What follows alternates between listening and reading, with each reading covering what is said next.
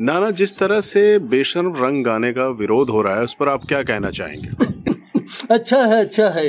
अगर आप गाने को गौर से सुने तो उसमें एक लाइन है हाँ? लेकिन मैंने गाने को सुना नहीं सिर्फ़ देखा है। यही तो प्रॉब्लम है।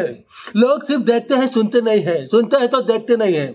अगली बार से सुन देख कर आना नाना के पास समझे हाँ? खैर फिर भी मैं बता ही देता हूँ।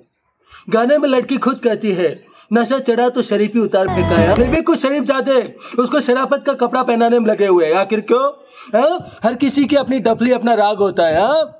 कलाकार किस किस की सुने, किस किस की सुने देखिए, मैं निकलता हूँ, मुंहफट आदमी हूँ, बहुत कुछ निकल जाएगा, कोई मुँह फुला लेगा, कोई खपा हो जाएगा हाँ?